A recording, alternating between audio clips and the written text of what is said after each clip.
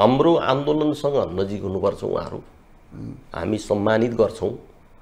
कार्यकारी प्रमुख मान्दैनौँ। किनभनेदेखि लगेर कुन भिरमा घोप्याउने खतरा हुने भयो? हामी असाध्यै सम्मान गर्छौँ। अहिले मान्यो मान्यो मान्यो होइन? लगेर कहाँ घोप्ट्याइदिने? त्यो अविश्वसनीय चाहिँ चरित्र जसलाई चाहिँ अस्थिर पनि मानिसले भन्छन्। उहाँ चाहिँ गतिशील भन्नुहुन्छ त्यस्तो गतिशीलता हुँदैन। देश जनता वर्ग समुदाय छोडिदिने अनि आफैमा त दौडेर गएर चाहिँ नि त्यसलाई गतिशीलता मानिँदैन।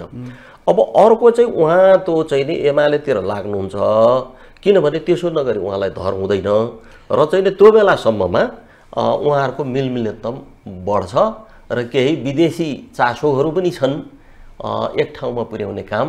त्यो सकारात्मक चासो होइन नकारात्मक के भनेदेखि विदेशी चासो अन्तर्गत उहाँहरू पुग्नुहुन्छ भन्ने देखिन्छ र हामी त्यो नहोस्। अहिलेको यथास्थितिमा रहन सक्नुहुन्न प्रचण्डहरू। अहिले अहिले चाहिँ फेरि माओवादी र एमालेको नोकझोक हेर्दाखेरि चाहिँ उहाँहरूको चाहिँ अब उस्तै पऱ्यो भने खुँडा लिएरै सडकमा आउने खालको स्थिति छ। सदनमै पनि कसरी भिड्नु भयो? देखि नै हाल्यौँ हामीले। अहिले पनि त्यो जनयुद्ध होइन हिंसा एमाले भनिराखेको छ। त्यसलाई हिंसा भन्ने यो असंसदीय भाषा हो भनेर प्रचण्डजीहरू भनिराख्नु भएको छ। अलिकति तनावपूर्ण वातावरण त छ उहाँहरूको बिचमा। त्यो चाहिँ तपाईँको अब देश जनताको प्रतिको दायित्व बिर्सेपछि त्यो माथिको सत्ता अथवा सरकारलाई मात्रै प्रधान मान्न थालेपछि त्यो के भने गौण हुन पुग्छ।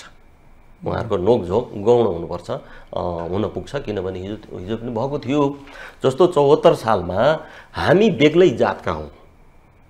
एमाले बेग्लै जातको हो हामी माओवादी बेग्लै जातका हौँ।